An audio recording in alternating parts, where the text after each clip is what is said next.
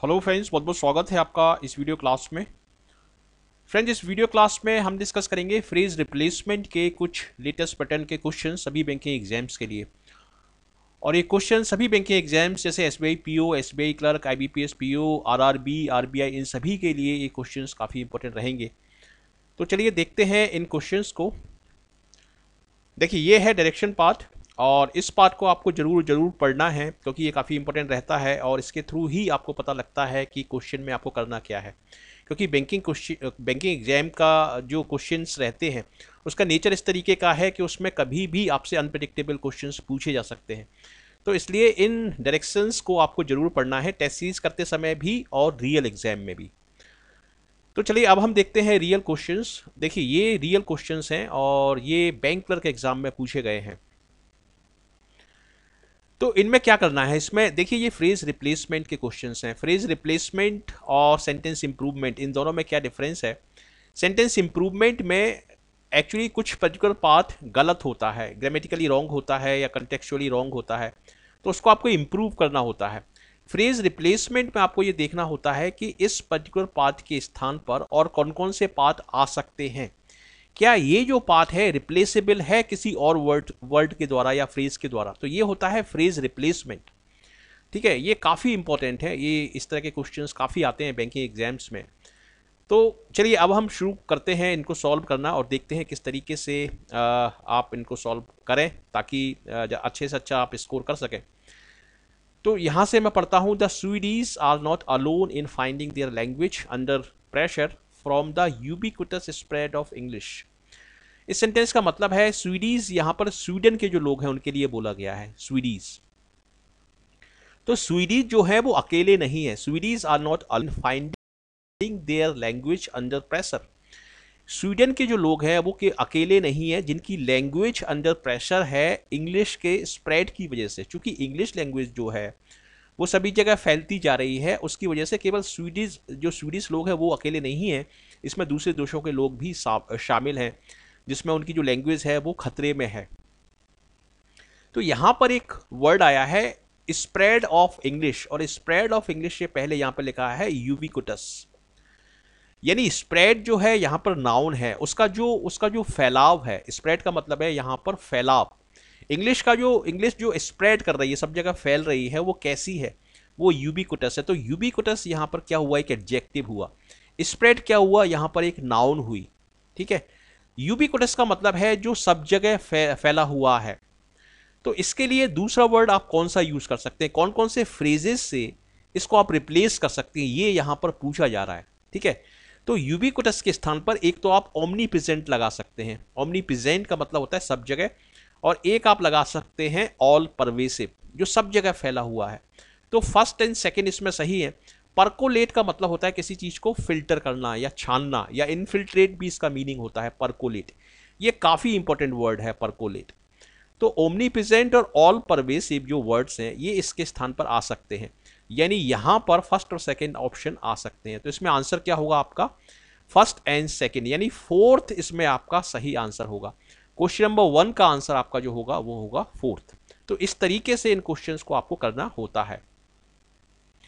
अब ये है सेकंड क्वेश्चन आपके सामने। To foster a culture of innovation faculty must be open to exploring the unknown making the environment conducive for interaction इसका मतलब क्या है कि to foster a culture of innovation innovation के कल्चर को फोस्टर करने के लिए, यानी इनोवेशन इनोवेशन को इनक्रेज करने के लिए या उसको प्रमोट करने के लिए, उसको बढ़ावा देने के लिए फैकल्टी यानी जो टीचर्स होते हैं must be open to exploring the unknown मतलब उन, दे मतलब उनका जो दिमाग होना चाहिए या उनकी जो फिलोसफी या थिंकिंग होनी चाहिए, वो ब्रॉड माइंडेड होनी चाहिए और उन लोगों को ओपन होना चाहिए ताकि वो अलग अलग नई नई चीज़ों को एक्सप्लोर कर सकें और स्टूडेंट्स के साथ इंटरेक्ट कर सकें ज़्यादा से ज़्यादा।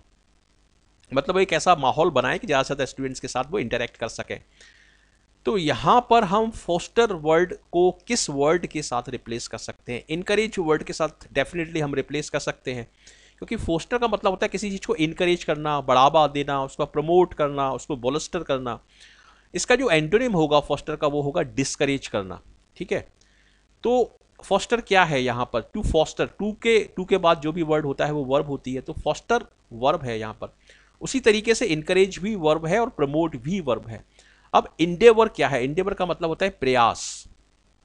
तो इंडेवर यहाँ पर नाउन है तो इसका ये अलग है इन इन दोनों वर्ड से। तो यहाँ पर फ़र्स्ट और थर्ड ये आप दोनों लगा सकते हैं। इंडेवर आप नहीं लगा सकते यहाँ पर। तो फ़र्स्ट और थर्ड इसका आपका आंसर होगा, यानी आपका आंसर होगा सेकंड क्योंकि सेकंड में फ़र्स्ट और थर्ड दिए हुए हैं। ठीक है? तो इस तरीके से इन क्वेश्चंस को आपको करना है। अब हम देखते हैं क्वेश्चन नंबर थर्ड ये रियल क्वेश्चन है।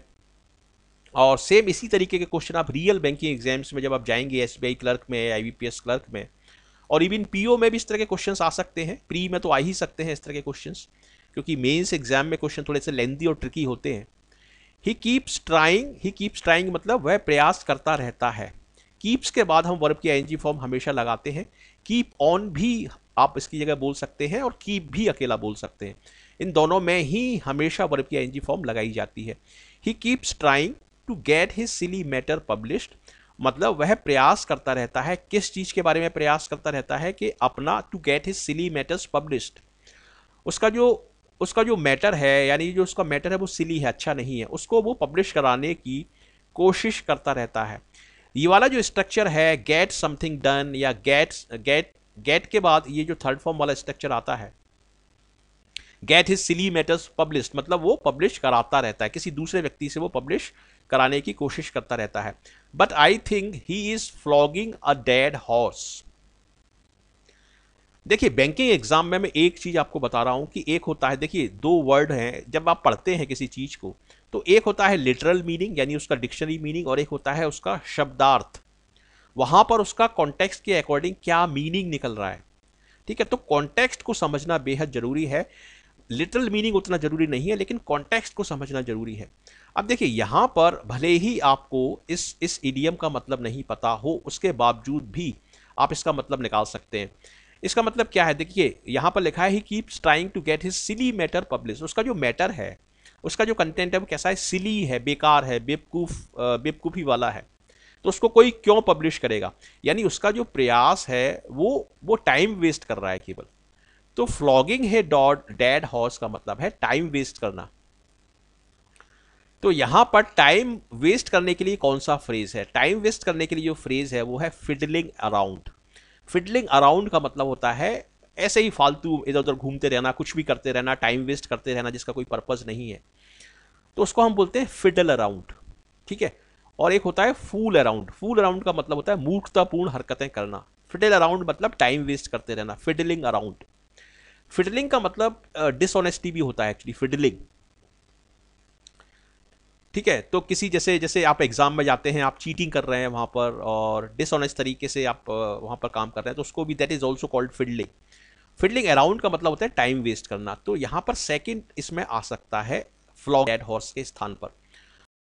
Just holding it in leash का मतलब होता है, जैसे डॉग होता है, उसकी उसकी जो जो रस्सी होती है जिससे हम पकड़ते हैं उसको, क्या बोलते हैं उसको? तो उसको just holding it in leash वो मतलब हुआ। तो ये सेंसलेस है यहाँ पर। और हॉगिंग का क्या मतलब है? हॉगिंग देखिए हॉग का मतलब होता है जैसे आपका जो शेयर है वो शेयर से ज़्यादा ले ले लेना। हॉग हम एक पिग को भी बोलते हैं, बड़ा पिग होता है, उसको भी हम हॉग बोलते हैं। तो इसके कई मीनिंग निकलते हैं, लेकिन हॉगिंग ओवर इट का भी कोई सेंस नहीं है, ये सेंसलेस है। यहाँ पर केवल सेकंड जो आंसर है, यही इसमें सही है। ओनली सेकंड तो यहाँ पर आपका आंसर होगा four. He keeps trying to get a silly matter published but I think he is flogging a dead horse flagging a dot dead horse मतलब अपना टाइम वेस्ट करते रहना। आगे बढ़ने से पहले मैं आपको बताना चाहूँगा कि या आप S B I P O two के लिए एस बी आई क्लर्क 2019 के लिए हमारे एक साल के कॉम्प्रिहेंसिव कोर्सेज ज्वाइन करना चाहते हैं। इंग्लिश सेक्शन के लिए तो नए बैचेज स्टार्ट हो चुके हैं।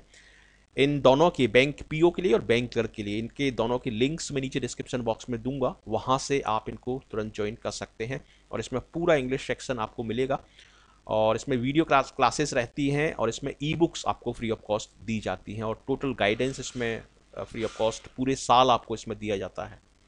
तो एक साल के ये कॉम्प्रिहेंसिव कोर्सेज रहते हैं, इनको ज्वाइन करें और इनके थ्रू अपनी सफलता आप सुनिश्चित कर सकते हैं।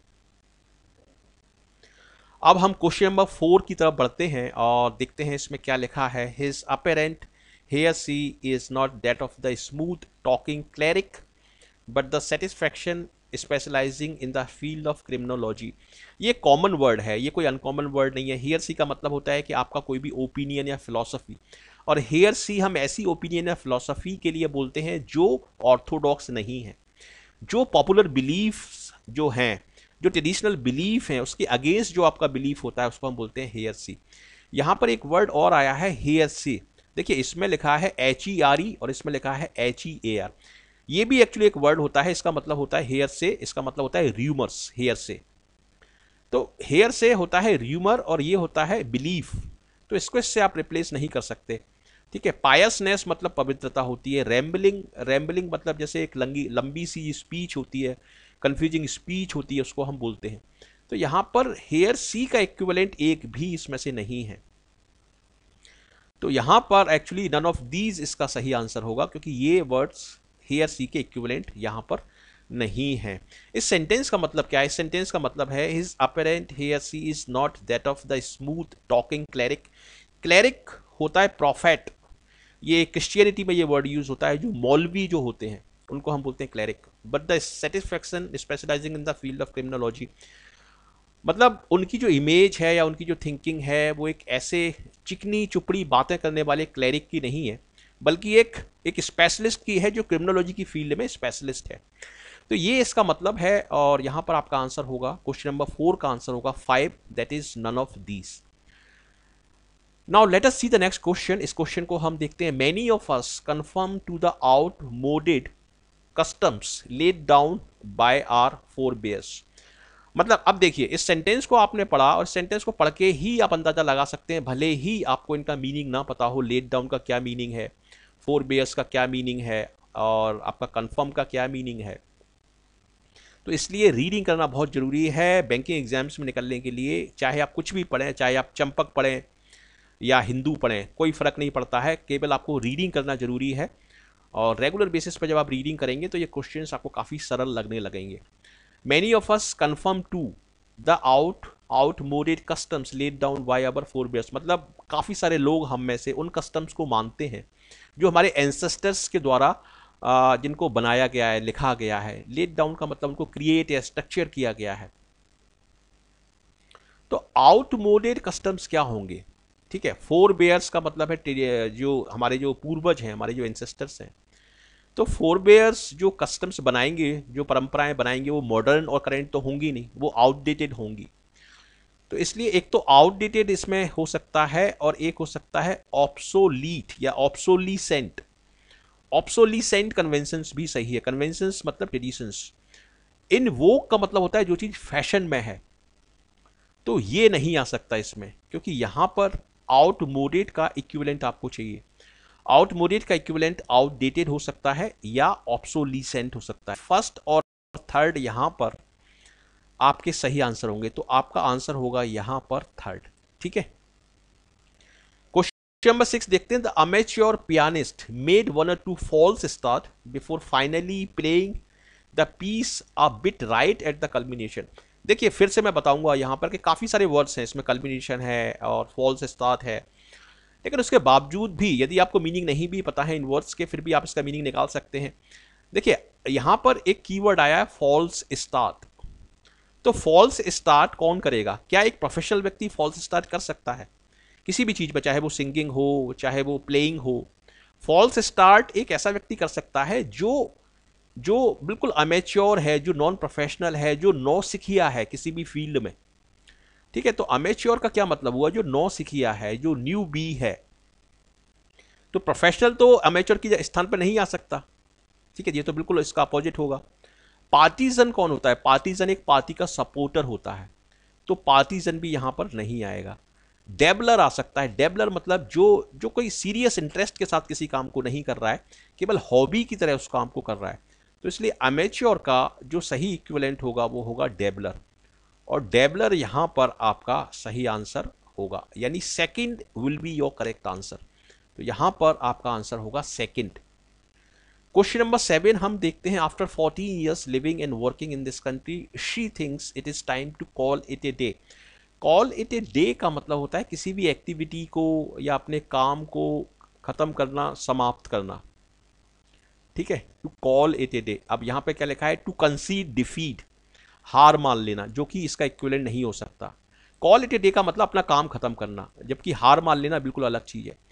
टू रिकैपिचुलेट का मतलब होता है किसी चीज़ को समअप करना, किसी का निष्कर्ष किसी का, किसी की समरी निकालना, किसी चीज़ की, उसको हम बोलते हैं रिकैपिचुलेट इसमें एक वर्ड मैं आपको और बता रहा हूँ यहाँ पर कैपिचुलेट कैपिचुलेट होता है सरेंडर रिकैपिचुलेट होता है समअप करना किसी चीज़ को। ठीक है? तो ये भी नहीं आएगा। टू गिव अप होप उम्मीद छोड़ देना, ये भी इसका मतलब नहीं होगा। यानी यहाँ पर इसका आंसर होगा नन ऑफ़ दीज ठीक है? क्वेश्चन नंबर एट देखते हैं despite all the goodies goodies मतलब होता है अच्छी चीज़ें। गुडीज का मतलब होता है अच्छी चीज़ें। डिस्पाइट का मतलब होता है इसके बावजूद। तो इन अच्छी चीज़ों के बावजूद despite all the goodies the participants despite all the goodies that participant participants get मतलब इन अच्छी चीज़ों के बावजूद जो सारे पार्टिसिपेंट्स को मिलेंगी I am not going for the competition मतलब I am not competing in the competition going for का मतलब होता है कंपीटिंग किसी चीज़ के लिए कंपीट करना तो कंपीटिंग यहाँ यहाँ पर इक्विवेलेंट हो सकता है. टेक पार्ट का मतलब भी होता है हिस्सा लेना तो ये भी इसका इक्विवेलेंट हो सकता है. गनिंग फॉर का क्या मतलब है? गनिंग फॉर के देखिए क्या ही मतलब है. गनिंग फॉर का एक शाब्दिक अर्थ भी है, एक लिटरल मीनिंग इसका ये है कि जैसे पुलिस गन लेके किसी अपराधी के पीछे उसको ढूंढते हुए घूमती है। ठीक है? गनिंग फॉर उसको भी बोलते हैं और गनिंग फॉर का मतलब होता है किसी परसूट के लिए, किसी किसी एम के लिए कड़ी मेहनत करना। जैसे you are gunning for S B I P O exam S B I P O post ठीक है? S B I P O job तो gunning for means to work hard for a particular aim ये meaning भी होता है gunning for gunning for का मतलब एक और होता है, इसका मतलब होता है सपोर्ट करना किसी को।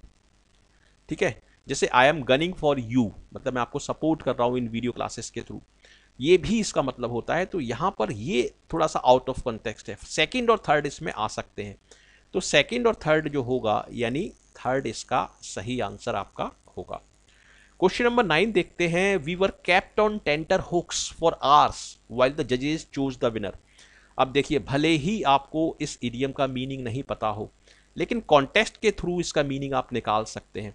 इस यहाँ पर सेंटेंस क्या बोल रहा है कि we were kept on tenterhooks for hours while the जजेज choose the winners जिस समय जजेज विनर्स को चुन रहे थे फाइनल फाइनल जो विनर है उसको निकाल रहे थे, उस समय जो दूसरे पार्टिसिपेंट्स हैं, उनकी हालत क्या होती है?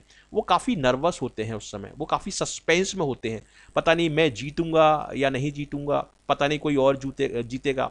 मेरी फ़र्स्ट पोजीशन आएगी सेकंड पोजीशन आएगी, कितने मार्क्स आएँगे, क्या ग्रेड आएगा।